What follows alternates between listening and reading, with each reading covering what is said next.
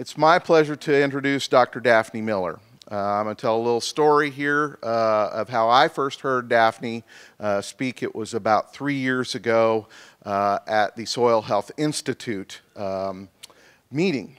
And I had obviously heard of Daphne before that, had, had read Farmacology ahead of that, uh, but I had never actually heard Daphne speak.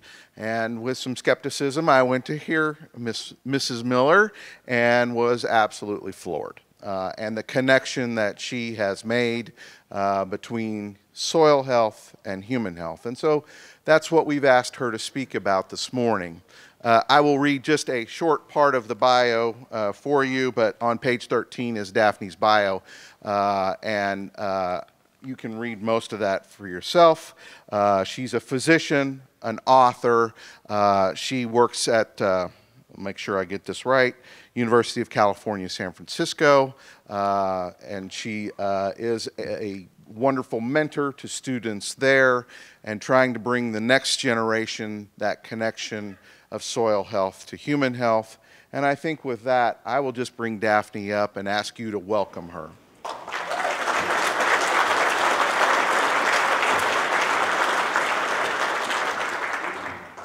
Thank you very, very much for inviting me to Kansas and to No-Till. This is actually a deep honor for me um, and exactly the kind of place where I want to be. So thank you so much for having me. And Steve, thank you, uh, because the thing he didn't tell you is he actually had a long conversation with me a month or two ago, um, talking to me about his work and about this conference and uh, really helping me set the stage a little bit. And so as I was flying here yesterday, and first rule of public speaking is you have to know your audience, right? You have to know where you're going. I was thinking, what, what characterizes this audience? What is, what is the, the, the kind of core um, value or characteristic that's happening here? And I was sitting there on the plane, I said, I am flying to speak to a bunch of rebels. I am flying to speak to mavericks, people who are, you know, leading the way. These aren't just, you know, like every other kid in the class.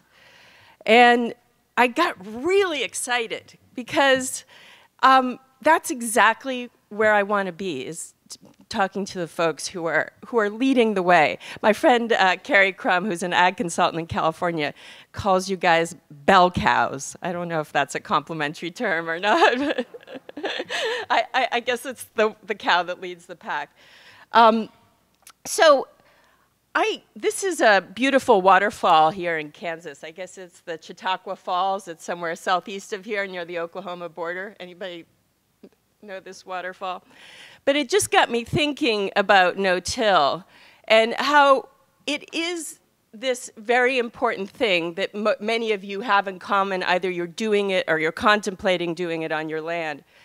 But what it is also is this initial step which creates this cascade of events and really changes your mindset and gets you thinking differently and looking at your farm as a very different kind of place.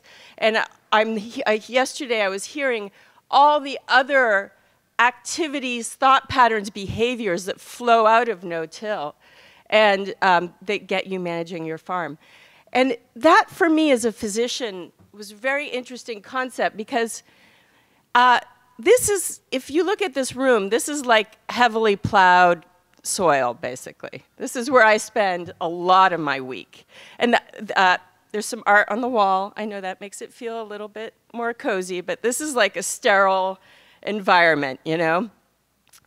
And uh, I have realized that I actually need to get out of that environment and start to cas you know, do the cascade of working with patients in a very different place, working with them outside this, these four hygienic square walls, and actually out in the field, literally, with the places that have a huge implication on their health.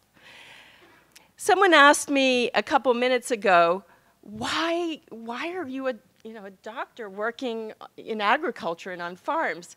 And maybe the best moment that I can pick for where this all started is right here. Uh, uh, this is uh, a little three-year-old, almost four-year-old me. I'm telling you how old I am now.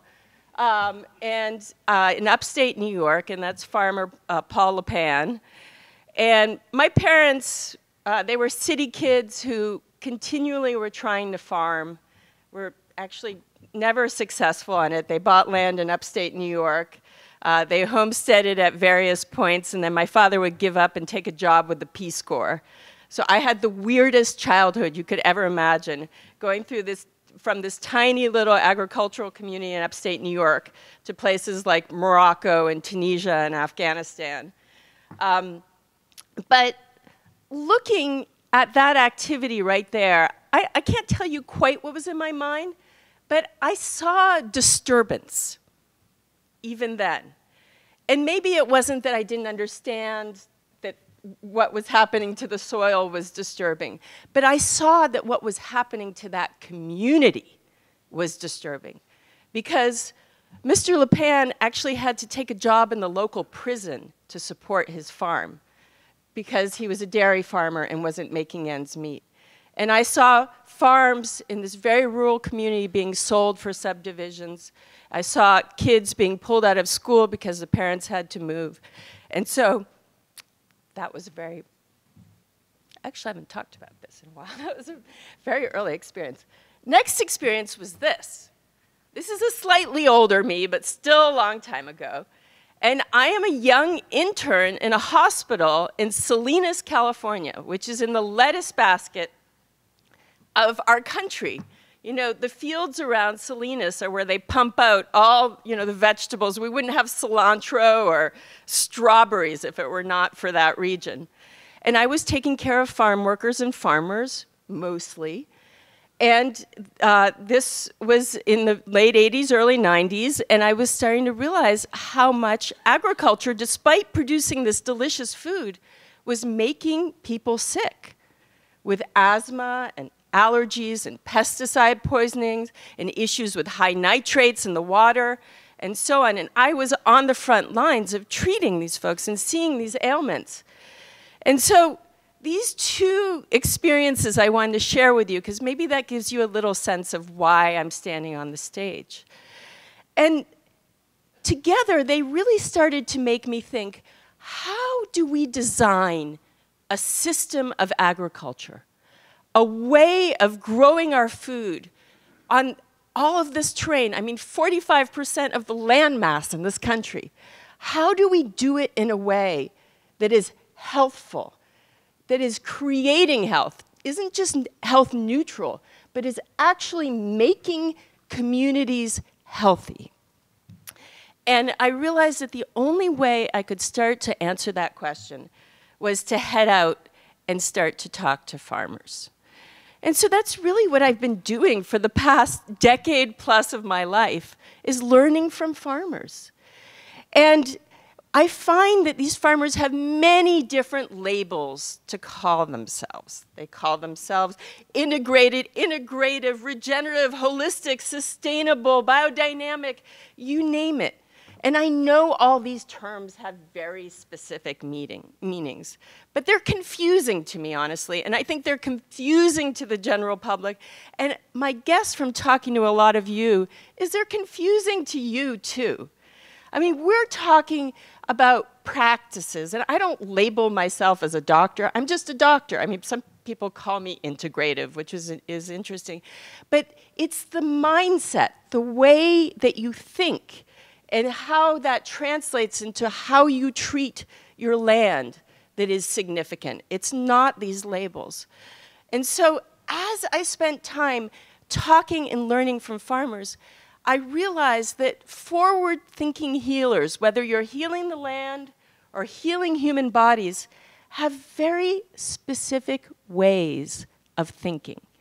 And that's what I want to share with you this morning, are some of those ways of thinking, specifically four of them, okay? The first one is that you think interconnected and not linear. And that is a huge distinction because if you think about it, in agriculture, it's kind of like soil, treat the soil, crop. In medicine we're like disease, treatment, cure. But we're going for something different. We're not just going for crop, we're going for health. And we're not just going for cure, we're going for optimum health. And so these kinds of algorithms, and one of these is replacing nitrogen in the soil, and the other one's replacing calcium in a human. Those don't work. That, you know, if not this, that, if not this, that, this linear way of thinking. And that was brought home to me very early on as I started to do this work because I spent time in Washington State with the Hawkinsons. And they were an interesting couple, Eric and Wendy. They had bought acreage up there, and their goal was to grow. Does somebody know them? I see some folks smiling there. Um, their goal was to, to, was to grow vegetables that were nutrient dense and delicious to feed their community. But what they realized was that they had bought land. Um, Eric was first generation farmer, and he didn't quite know what he was doing. He bought land that was unbelievably depleted. Uh, kids had been riding dirt bikes over it for years and had taken the topsoil and thrown it into the water. So he's a smart guy. He's did his PhD in divinity or something like that. He went to the agronomy textbooks and he looked at them and decided that what he needed to do was start taking soil samples and sending them off to a lab and getting readouts. And then, depending on what was missing from his soil, he was going to buy that bag of whatever it was and put it back in there. And um, that was so interesting for me to hear because that's exactly what we do in healthcare you know, oh, you're low in calcium, here, take this. Oh, your iron's a little low, take this. Oh, you need to chelate that. Uh, you know, we're just, we're, we basically test and replace all day. That's what you do kind of in, in conventional healthcare. But Eric was noticing that the carbon, the percentage of carbon in his soil wasn't going up, that the, the biological life of his soil wasn't improving, that the lab tests were getting slightly better, but the fruits and vegetables weren't looking any better. And he was getting incredibly frustrated. He was also losing a ton of money to these inputs. And then he was having these existential thoughts like, these minerals that I'm buying, where are they from? Who am I taking them from? And he started to realize that a lot of them were coming from areas like West Africa, where they might have needed those nutrients a lot more than we do in the United States. And he also was disturbed by the fact that there was a label on these bags of nutrients that said, wear a mask while dispersing these. Like, if they're so good for the soil, why do I need to protect myself? And I was kind of laughing because, in fact, a lot of these things that we give to rebalance our patients, you know, a little bit of this, a little bit of that, they all come with warning labels too. And a lot of times I don't see people getting any better taking them. So Eric started reading old school textbooks like this one by Sir Albert Howard, The Soil and Health. He started to read uh, Fukuoka and Lady Balfour and Sir Albert, um, Sir uh, Rudolf Steiner. You know, folks who had been writing about agriculture, you know, 50, 100 years ago. And they all were talking about pretty much the same thing, which was imitate nature. Go look at the most fertile place that you can find and do what's happening there. And Eric started to look at, wow, what are the most productive places on earth? And he realized that it wasn't agricultural land at all. It's like swamps and marshes and tropical rainforests and what have you. So he wanted to start to make his little farm an in, in, uh, in, um, in, in Washington state into a rainforest. Well, not literally into a rainforest, but he imitated all the principles there that you know of incredible diversity and um, allowing water to, to percolate in place. And he brought in animals. This is this lovely photograph that an artist did on the farm. And he did this for several years, and all of a sudden, the soil tests started to really just blast off. And the, you know the productivity on his farm just started to take off. And he started to make money because he was no longer buying all these inputs and everybody wanted to buy his fruits and vegetables. And hearing this story, it was so interesting for me to hear because what he had done was to stop thinking in lines, and instead he started to think in these web like ways, in complexity.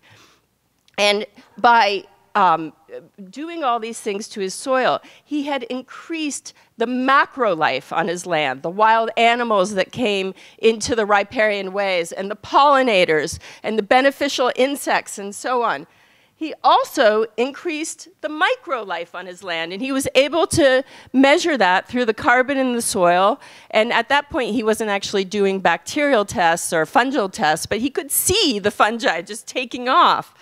Um, and now we know, and at that point, there really wasn't a lot of research on the microbiome and what, what was going on. Everybody kind of knew that bacteria mattered, mattered, but now we know that there is this intricate dance that's going on that many of you know much more about than I do. And uh, Michael, I was listening to Michael Phillips talk yesterday. He did a beautiful job talking about this, this network of, of energy and nutrients that flow from deep in the soil to the roots of the plants to inside the plants. The plants have their own special microbiome, to the microbiome of the animals that eat those plants, including us, and then it flows back into the soil again. And we're all talking to each other through those microbes and sending all kinds of powerful messages. He also increased the sort of macro um, you know, life on that farm by changing things. He all of a sudden had all this incredible variety of fruits and vegetables that he was growing. And that influences our health directly. Do you know what the best predictor of a healthy diet is? It's actually dietary diversity, not diversity of different colored donuts or what have you, but diversity of fruits and vegetables. And that's been shown over and over again. You can do all these different things to measure a healthy, healthful diet, but the best measure is just diversity. And so, off of Eric's farm, by growing all these fruits and vegetables, he was immediately healing his community. And, but then, on the micro way, he was as well, because it turns out that when you increase life in the soil, you increase the nutrients of your plants. The relationship is not one to one, it's subtle. And this study, for example, showed that it took about six years of organic production uh, with these onions. This was a study that was done in, in Ireland. It took six years of organic production to actually start to see that boost in nutrients.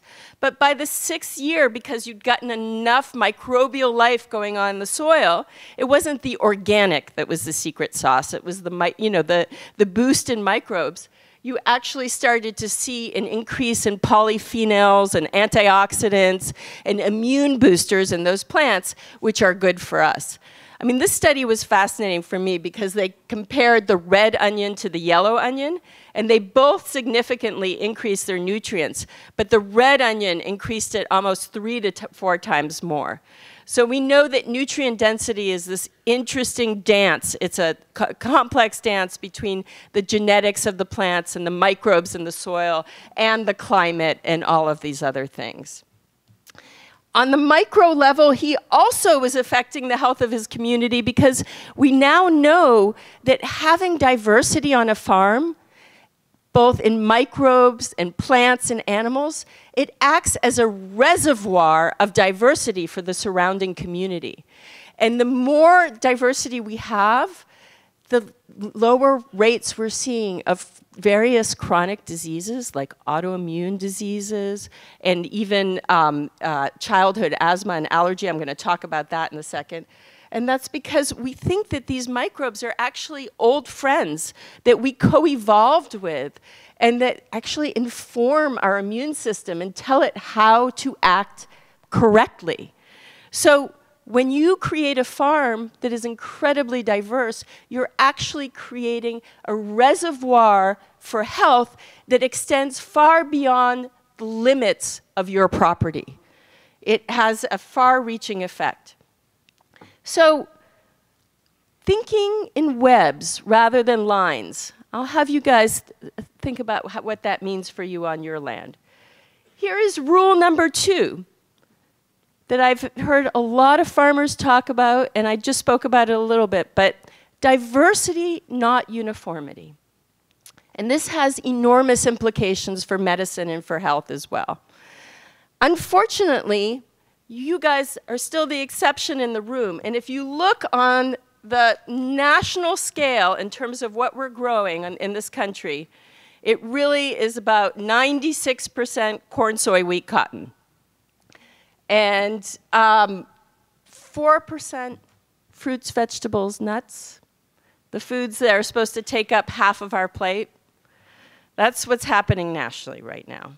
So the foods that are giving us the highest nutrition, it's about 4% of what we're producing in this country. But I know this isn't the whole story because I know that many of you who are just growing corn, soy, cotton are also having an unbelievable amount of diversity happening between those crops and when they're not in season in terms of your cover crops. So that is the first piece of diversity we're aiming for. For example, this is Kelly Mulville at Paicines Ranch in California. And this looked to me like just a scraggly old field of oats. And then he started to show me the radishes and the okra and all these other things that were coming up in there. Foods that humans can eat. And I started to realize that maybe this map is actually not representing it so well. Maybe there is more diversity going on than we think.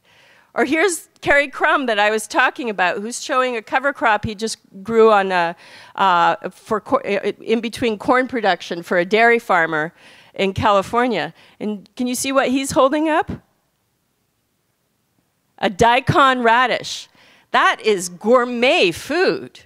I mean, that's good stuff. And it's also incredibly good for your heart, filled with antioxidants. This is food for humans that a lot of us are growing these cover crops and that could be harvested. So diversity has this opportunity to feed us once again. It also has everything to do with protecting the soil. This is a part of California that gets seven inches of rain on a good year. And this is some uh, soil that I cleared away that was under cover crop. And look what's happening in the middle of August there we have water. This is a miracle. And this is because of diversity, okay? Um, every other part of that land that they weren't growing cover crops on was bone dry. You just dig down and down and down. So diversity is literally protecting our water and protecting our land. And we need that water to survive. Now, this is a, we're skipping to medicine now. This is a healthcare article that came out in a prestigious journal and this was written by a researcher named Erika von Mutius. And what is she saying? She's saying the same thing. She's saying that biodiversity is the new kid on the block. We got to start caring about this, folks, in healthcare. This is what's going to make the difference and keep us healthy. So we're all thinking about the same thing. This is Erika von Mutius, very respected, serious researcher head of allergy and asthma at Munich Children's Hospital in Germany. She's published articles that have ended up in the most respected medical journals in the, in the world, like the New England Journal of Medicine. And guess what she writes about? She writes about the farm effect. She writes about the fact that kids who are raised on sustainable farms where they're exposed to lots of different plants and animals and very few chemicals, so really limiting the herbicides and pesticides, have much healthier immune systems and much lower rates of asthma and allergy than kids who are raised on conventional farms. And she is finding this over and over again. She started her studies in Bavaria and Germany, and now they're doing them in the United States and Pennsylvania and Ohio, and they've become a huge collaboration of researchers. And when I went and visited Dr. von Mutius, this was quite a few years ago, before people knew exactly what she was doing, and asked her, what is the secret sauce? What's going on on these farms that's protecting these kids? She went to her computer and she brought up this picture. And she said, Dr. Miller, I do not need to tell you anything more. I, my German accent's not so good. But um, she said, it's all here. You know, look, It's, um, you know, you got the, the manure and the cows and the milk, which is not homogenized, pasteurized, vitamin D added milk, by the way. Um, but none of my medical colleagues are in the audience, right? Because they'll report me to the CDC. Um, but you know, this is so funny because in medicine, what do we call asthma and allergy? You know, at colloquially, we say hay fever. But here she is tossing hay in the air, and those kids are being protected. And then she actually did something very interesting with this research. She went to the apartments of kids in downtown Munich who were suffering from asthma and allergy, and she swabbed the farms with all these swabs and the apartments with all these swabs. And she went back to the lab and she ran 16S RNA tests on them to look at the bacterial populations, and they studied the fungal populations. And this is what they found. They found that the blue line, which is living on farms, and that y axis is diversity, that the kids living on farms were exposed to all of this microbial diversity. The kids in the cities were not. They, had, they were exposed to lots of microbes, but they all looked the same. It's like the kids in the cities were exposed to this, and the kids on the farm were exposed to that. And that really is what was making the difference. And what they found is that kids who are on farms where there are a lot of chemicals tend to look a little bit more like the uniform gummy bears. But this is the part that really rocked my world, because there, there's a part of the article where they start to describe the bacteria that they found on these farms. And it's a big article, but look at that first bacterium that's described in italics. Somebody read that out. Listeria. Oh my God, as a doctor, I hear that word and I start to quake. And these are on the farms where the kids are healthy. What sense do you make of this? What's the answer? Anybody have an answer? Constant exposure is maybe part of it, that there is some kind of resistance that develops. But it's, the, it's a whole grab bag. It's the multicolored gummy bears. And it turns out that when you have pathogenic bacteria and it's there alone, it does a job on you. But when it coexists with all these others, there's comp competition. And that's what you see here. That, that, that red line below is infection or infection outbreak. And you see when there's just a couple types of microbes, whatever pathogenic bacteria it is can go wild. But if there's competition, it can't. And that's something that we see in plants, we see it in animals, and we see it in humans. And she documented this on this farm, and I can tell you that a lot of researchers in medicine read that and went crazy. But it's the truth, it's what they found. So the third rule is dynamic balance. Okay, now the Californian in me is coming out. I figure we've gotten to know each other a little. You think I'm okay? I'm really showing you what I'm all about, which is goat yoga, right? Um, no. Well, I told you my parents were in the Peace Corps, so you probably expected this was coming, right? So this is not me, but seriously, guys, this is a thing. I'm telling you. People do yoga with goats on their back. Um, but I thought it was a great way of illustrating this concept of dynamic balance because you really do have to use that to do goat, yoga. So, dynamic balance, not eradication. That is the third concept. And this is Bob Gatenby. He is actually a cancer researcher in Florida. And he's an interesting guy. He's never stepped foot on a farm in his life. He's allergic to plants. But super smart. And he was so frustrated by the fact that with his cancer patients, he'd whack them with chemotherapy. They'd all be like, I'm cured, I'm cured. And then within four to five years, the cancer would come back with a vengeance and they'd be, they'd be dead. And he said, we are not thinking right here. And so he started reading broadly on this. and he was reading about a cabbage moth that devastated cabbage crops. I think it was in Ireland or England or someplace. And they were whacking it with every kind of pesticide you can imagine. And the moth would go away for a while and then it would come back with a vengeance. And then he started reading about some smart farmers who were actually using integrated pest management, something you all know about, but was like rocking his world. This idea that you give minimal doses and really just try to not eradicate that cabbage moth, but keep it in balance. It's okay if it's there, but just don't let it run over everything else. And he's like, why can't we do that with cancer? So he started to experiment first with uh, prostate cancer, which is still now where he's actually doing clinical trials. Very exciting as of this year. He's got NIH funding to do it, but he's looking at breast cancer, he's looking at skin cancer. Uh, he would like to look at pancreatic and ovarian cancer. These cancers that are, you know, becoming increasingly common and that are truly uh, um, uh, devastating and overwhelming to us. And what he's finding is this is that there's really two camps of cancer cells. There's the sensitive cancer cells that will respond to treatment, and the ones that are resistant, like those moths that keep on coming back.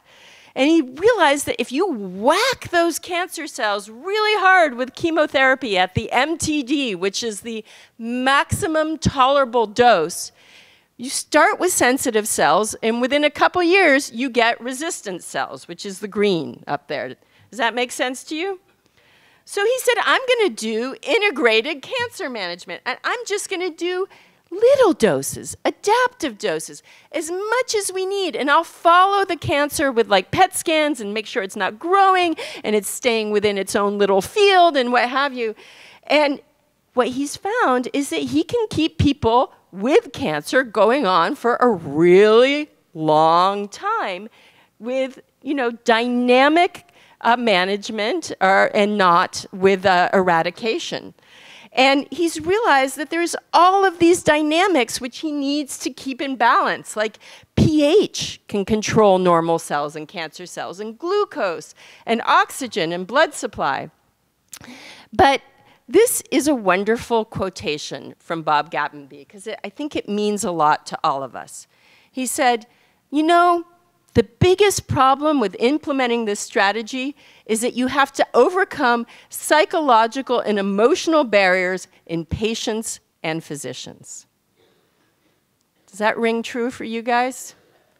So many times, making the change, it's not about what's right or what the science shows you or whatever. It's these psychological and emotional barriers. That is really upsetting to me that that's what's between us and getting to better cancer treatments. And I'm sure that it's upsetting to a lot of you that that's between, you know, what's between uh, getting to better field treatments.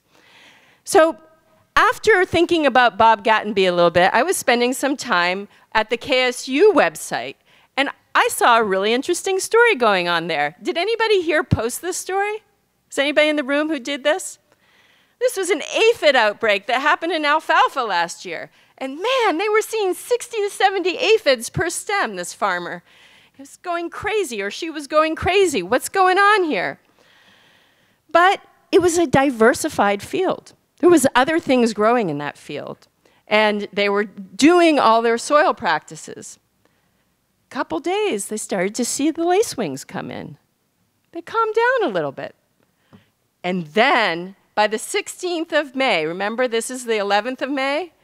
By the 16th of May, the ladybugs came in. And guess what? There were six or seven aphids per stem. They didn't need to take out those pesticides. They needed to keep this dynamic balance. That's right here in Kansas. Is anybody involved in this? Is everybody seeing this in their fields? What do you have to do? You have to sit on your hands, right? Is that hard as farmers to sit on your hands? What? Not anymore. Not anymore. You know, I've learned to sit on my hand as a doctor too and let your natural healing systems work as far as they can. It doesn't mean that I don't pull in the medicines, but I see what your, your natural healing can do first. It's the same principle. So, you know, Right here, it's the aphids, the ladybugs, and the lacewings, the same kind of dynamic balance that Bob Gatenby is trying to use in cancer.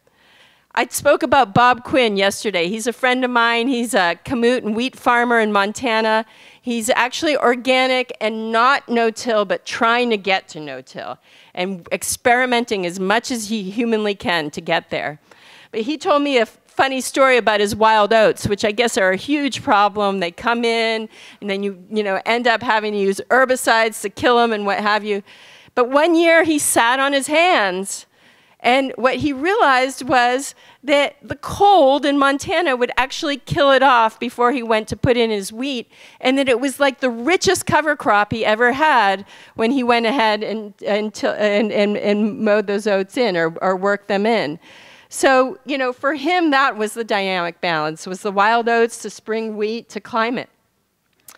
And what I love talking about these stories is that they always connect at the end between agriculture and health. So when we're talking about dynamic balance in cancer, and we're talking about dynamic balance in protecting the soil, guess what? If you protect that soil, it's a reservoir for treatments for humans. And this is a story about a woman whose breast cancer was treated by just a very common chemotherapy, bleomycin. But guess where that chemotherapy comes from? soil. It is mined from soil. So when we keep our soil healthy, we're actually um, you know, keeping that opportunity for all those microbes that will potentially even save our health in the end. And that, you know, kind of pulls the cancer and the soil together. So in, you know, in closing, when you're thinking about dynamic balance, don't think of the slide there on the right. Think of the one on the left. Just pruning, just pruning. Now, the final thought is this one of intelligent tinkering, not conquest. And can you see the image that's in the background there a little bit? I went to a conference in India a couple years ago on the northeast border with Bangladesh. It was actually Indigenous Terra Madre. It was an amazing conference.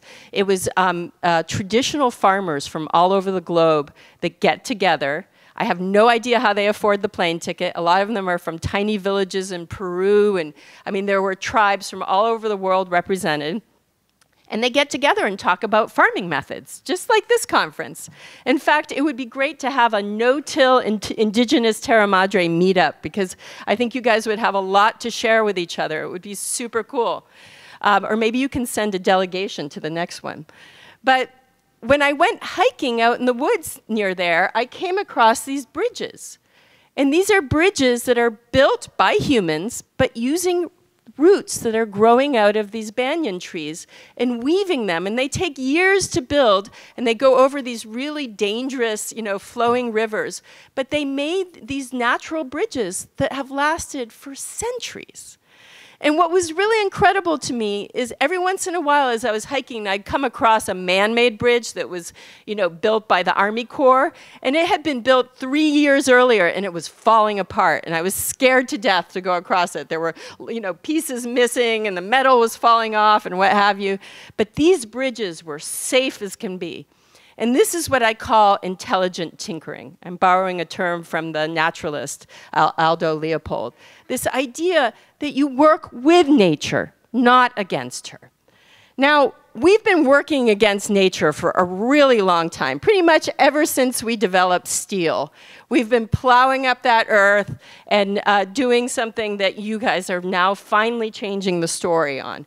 But this goes back to, you know, uh, several uh, thousand years BC. Uh, you can see in the activity in the bottom. And it wasn't quite so violent yet then, but, you know, civilizations have been lost over the centuries from our plowing. And I think you all have heard that story.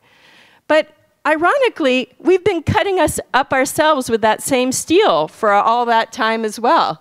And these are photographs of the early surgeries that were done. Now, I am not against surgery.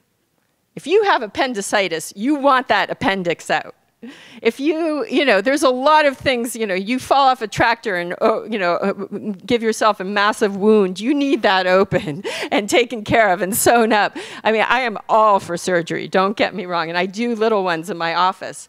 Just like I actually think for tilling, there might be a role in interrupted disturbance, and some of the research might be showing that as well. I don't think it's an all or none thing.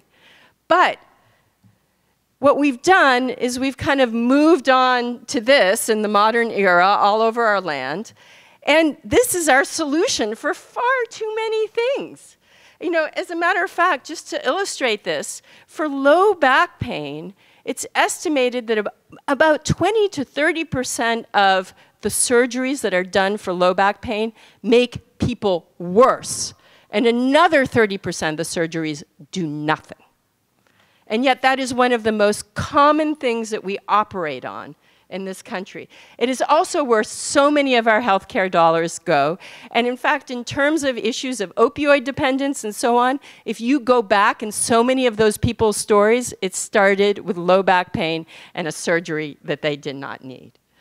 So, once again, this idea of using that steel and, you know, not tinkering, but really, you know, going in and overriding a system, we have to rethink it. We have to rethink it because 80% of the land in this country still looks like this for at least part of the year. And when you go to studies in medicine and ask, why is it that surgeons continue to perform unnecessary surgeries? This is, you know, it would be the same question that you might want to ask farmers. Guess what the two most common answers in this big study were? We've always done it this way, and we're incentivized to perform this procedure.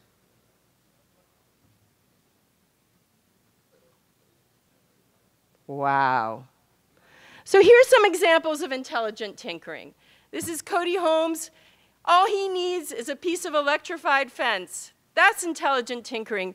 And then you move your cattle you know, in a in the, whatever you want to call it, holistic grazing, mob style, bison style, uh, what have you, around your land. We know that might be one of the single best things you can do to bring back your soil when you do it right. I talked about this briefly in the workshop yesterday. This is like seriously it, um, intelligent tinkering. This is a farmer in, um, in uh, Nebraska who basically took his roller crimper and said, What would happen if I mowed down my rye at a 75 degree angle instead of a 90 degree angle, and then followed it a week later with the, the no till drill um, with soy? Am I saying this right? I always feel like an idiot when I talk about agriculture. You're like, she's an imposter. it's okay. You, you try and talk about, uh, you know, urosepsis, okay? so this is what happened. He killed it all when he moved it to 75 degrees because it fell at a different angle. And then when he went through with the drill, he was able to chop the stalks at the base at the right angle to cover his soil, give himself good coverage, and have it be dead. So this was a no chem kill, no till. And he did it just by moving his roller crimper 15 degrees. Has anybody tried that in this room? Really? Does this not make any sense to you? Do you think this is crazy? It makes sense? I'm telling you something new in agriculture? I'm going to do a happy dance. I don't ever do that. Cool, well, go to this website, okay? Um, this is a farmer in New Hampshire who was just completely pissed off about all the chip, chickweed and lamb's quarters that were growing in his hoop houses and taking over his winter fruits and vegetables. They try and get winter production there. This was his intelligent tinkering. He figured out that in New York City they were paying $24 a pound for chickweed.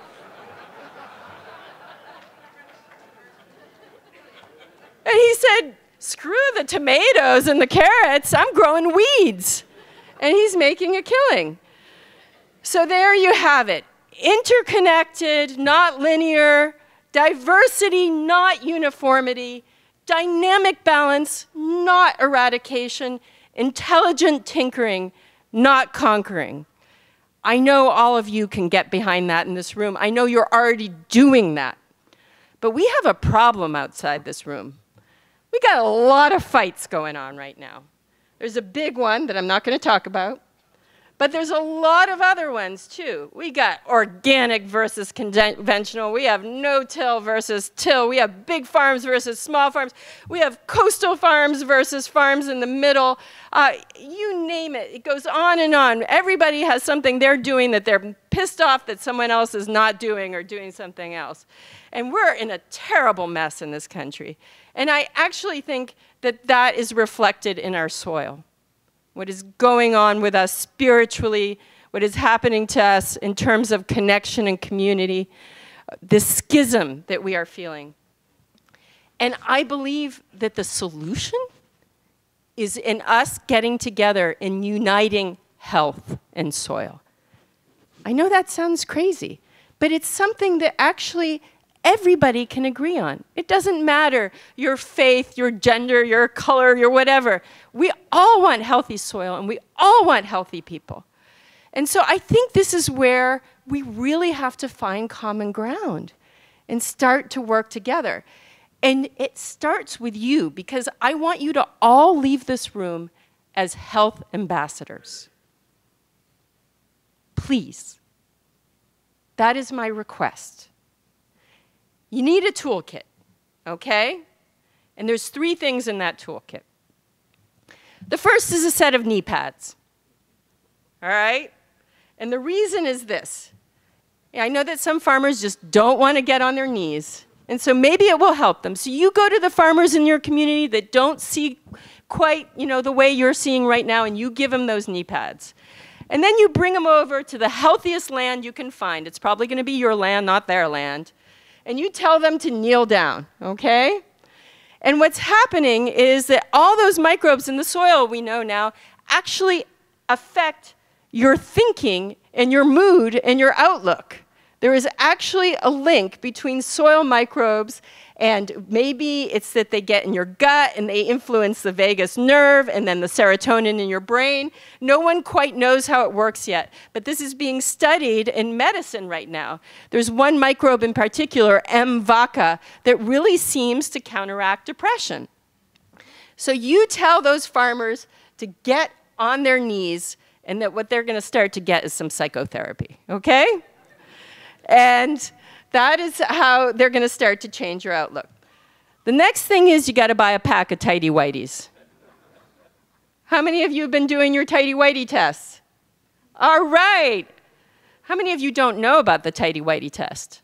Oh, very few of you. Okay.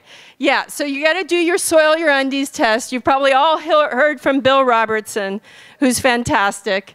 He is the, the soil your undies evangelist. He's a cotton uh, agronomist in uh, Arkansas, and he's taught me an awful lot. Um, do you all know the backstory on Bill, by the way? The reason he has that beard? I was, uh, I was telling Willie yesterday. He, uh, he got cancer um, and he actually grew out his beard in solidarity. It was breast cancer. And he grew out his beard in solidarity with all these women who grew out, you know, who, um, you know, need hair for their, for their wigs when they lose their hair from chemotherapy. So that was his activity. But then he just became the bearded guy. Um, and he talks very openly about this experience of getting cancer because it really is what changed his way of farming and of seeing the soil. Um, I think a lot of you might have had some kind of experience like that. Um, I imitated Bill and did my own soil your undies test in my little garden in, in, San, in Berkeley, and I was proud to say that it worked there too. In my uh, little vegetable patches, which I treat with lots of organic matter, and the, and the control was in just the dirt walkway of my garden where nothing happens. So you get them on your knees, you do the soil your undies test where you put one pair of underwear in your field and one in their field so that they can see the difference. And then you get out your little cards and you start to show them and you say, look, this is the third thing that's in your kit. The cross section of skin is exactly like the cross section of soil.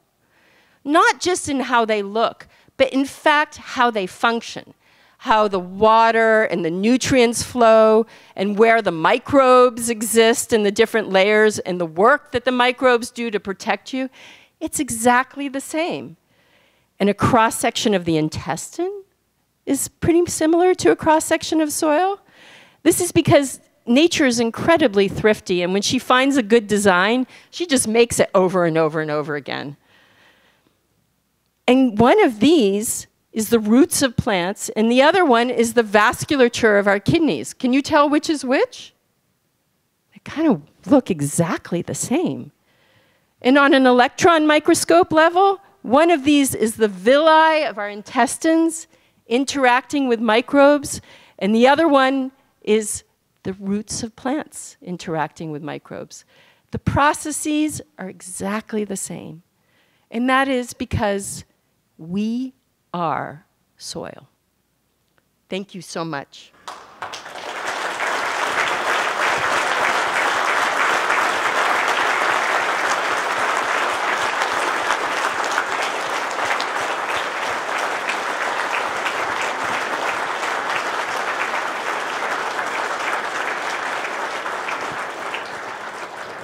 Thank you, Daphne. We're Do- gonna we're gonna do take a few questions in here, uh, and Daphne will be outside of this room uh, after we break uh, with uh, Farmacology for sale and and perhaps uh, an autograph within that book. But let's start uh, with questions. I'm doing a workshop later, and I know it's hard to think. We can actually take some time during the workshop to answer questions too. So. Uh, what do you think about? Um, I know a guy, and, and a lot of people in here know this guy, and he's kind of a nut. But he got a bunch of soil off of his native land, put it in capsules, and he takes one every day. He's sitting he in the room. He introduced himself to me yesterday. Um, so, uh, I, you know, it's interesting. I, I, I honestly, considering the sterility of, you know, the food that you buy in the market, it, it certainly could be a good counterbalance to that. I, I think, you know, if you know your soil and you feel comfortable what's in it, go ahead and you know give it a try. You're i mean i'm always eating my soil in my garden off of my fruits and vegetables. I don't wash them at all. I mean you know capsules it just sounds unappetizing. I'd rather have it sprinkled on a nice salad or something like that you know? But you know, maybe salted soil or something. And there is actually a practice in Japan of uh, cooking with a, a little and using soil for flavoring. So it's not crazy at all. And you know, we know with pica, which is this um, iron deficiency uh, that can happen with pregnant women, what do they do? They go out and they eat soil. Um, and uh, in native communities, that's actually been a tradition for a very long time to get nutrients from soil.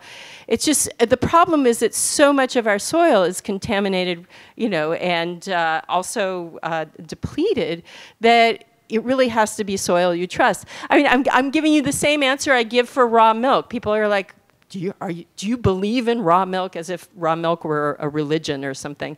And I'll say, you know, if it's coming from your cows and your sheep and your goats and you know how it's been cared for, go for it. If it's just mystery raw milk in the market, nah, you know, it's not, not so good. Daphne, uh, right here. Yeah. So, as we were talking last night, and, and you talked about this a while ago, as a doctor, you see patients come in. Uh, you were talking about us setting on our hands if, if we have an infestation of aphids, waiting on Mother Nature to take care of it. And when we try to uh, tell other people about that, you know, they kind of panic and, you know, you, we got to do so. Do you see that in your patients when you say we, we need to wait and see if, or how, how do you?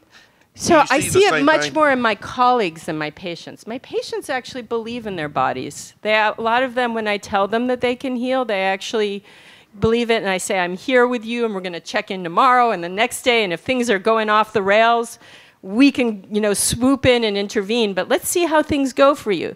And I do, you know, for certain things. If it's an overwhelming infection, I mean, don't get me wrong. I use drugs. I use surgeries. I don't want you to walk out of this room thinking I'm, you know, uh, you know, not using those uh, conventional treatments. I just use them in an integrated way, in the minimum dose possible, and only when really necessary. I use a sliding scale of evidence for when they're needed. And what I found, because I teach a lot of young doctors, I, I have to literally sit on their hands. Um, and to keep them from doing things. They just can't believe that someone would come in to see them and would not leave with, with a prescription for something or a referral to a surgeon or something. And that's just, you know, how we've been indoctrinated. And I know that as farmers, you're the same. You feel like you got to do something, you know. And sometimes doing nothing is doing something. Yeah. But, but at the same time, you do have that toolbox to be able to swoop in. You know, and if those 60 aphids went to 120 aphids the next day, um, then, you know, that's a different story. But if you're starting to see this pattern of improvement, you know, and that's a lot of what has to go on too, is we have to learn as healers to trust our intuition and to be able to look at nature and recognize the pattern. I think that companies, chemical companies, and our educational system have dumbed us down to the point where we don't trust our healing intuition anymore. And that is a piece of this. Uh, yeah, I'd just like to let the folks know here I'm from Nebraska and I have four trays of healthy rainfall simulator, high organic matter soil out in the back of my pickup if you would like to bring a teaspoon out and sample it. Let me know how many takers you get at the end of the day, okay? That's pretty good, Dan. Um, if we were a group of doctors and, and we were trying to convince them, what is it going to take the medical community to see what you're saying? Because it's so based upon referee journals, medical case studies. What you're saying makes sense, but if I'm a doctor, what's it going to take for the training of future doctors, the medical community? It's, what's that saying? It's going to take a lot of funerals. Um, unfortunately, uh, there needs to be a real shift, but it's actually starting to happen. And uh, the younger generation of doctors that I'm training, and even ones who are now, you know, postdocs or in their 20s and 30s or what have you, are starting to think really differently. I mean, we are seeing antibiotic resistance in medicine just like you're seeing it in the fields. And we're seeing, you know, cancers where we haven't really improved survival rates in 30 years. Like, what's up with that, you know? So we know that there's a lot of ways that we're not thinking right. And there are folks like Bob Gatenby and many more who really, really are starting to think differently. You read the Journal of Allergy and Immunology now, and I'm, I think I'm reading like Acres USA. I mean, there's like so much talk about, uh, you know, biodiversity, and I mean, that's where she published that piece. So there are things that are starting to shift. And the microbiome has made us realize that we are all interconnected in this way that we hadn't envisioned it's still hard to find doctors who are, you know, willing to be forward thinking in the same way it's still hard to find farmers who are willing to be forward thinking. And that's why I think we really all need to work together. When you become a health ambassador after you leave this room, get the health people in your community involved too. Bring them to your farm, educate them. I've just given you the tools to really school someone in medicine now and to talk to them about those four ideas, those four principles. And this talk will be posted on No Till. Share it with them. You know, I've got enough like degrees under, after my name, and I'm in an institution that's sort of like respected enough that they at least sit down and listen once. You know, they might walk away and, and think it. You know, but it is amazing how minds really are changing. Does vitamins and mineral supplements help us or hurt us? Mostly they do nothing. Mostly they, uh, they come out in the toilet. Um, that's the one exception being if you have a real deficiency. And I, unfortunately, and because our diets have gotten so bad, see people who really are vitamin B12 deficient, vitamin D deficient, iron deficient, and so on. And that, in those cases, you do need to supplement just to get people back to normal. But this idea that you can get to optimum health from, you know, and most people's labs are totally normal, to get better through vitamins, there's absolutely no evidence. And there's a lot of evidence that, in fact, high doses of certain vitamins can bring on cancer, like, uh, you know, high doses of B vitamins actually increase the risk of lung cancer. And there's new research on prostate cancer and so on. So, it's the same, you know, they, they don't make a difference. And you know what? Diet will if you start it at the right age and eat healthfully and you know or at any age and eat healthfully it will make a difference. But diet doesn't cure most things either i hate to tell you. It is prevention. And there are some doctors out there that are you know way out there who are trying to convince people that you know don't do the chemotherapy don't do it just you know eat that orange and you'll be fine. And that's not true either so, you know, the science kind of goes wacky both ways, and we need to keep it in balance. What are your thoughts on uh, almond products and moving away from um, animal products like traditional milk and things like that? How do you see that affecting, you know, the diversity that that uh, that we're seeing? I think that we're just going once again to another, you know, we just jump from one ship to another. And California, the cash crop right now is almonds. It's, they've, you know, uprooted all of these vegetable systems to put in these perennial trees that are using enormous amounts of water and need, uh, they haven't really found a great way to cover crop with them because of harvesting. And they, you know, uh, we're, we're in another kind of monocrop at this point, and they use a lot of chemicals. So yeah, the answer is not to move to almonds. Uh, the answer is, once again, diversity. The other answer really is for us to start to plant our plates locally. And I have been to, you know, the upper outer peninsula of Michigan in the middle of winter and watched farm communities eat almost 100% locally in those regions. We can do that anywhere in this country with preserving and canning and uh, trading and getting back together as a community and growing foods that humans can eat. And that really is the answer. Let's give Daphne another round of applause.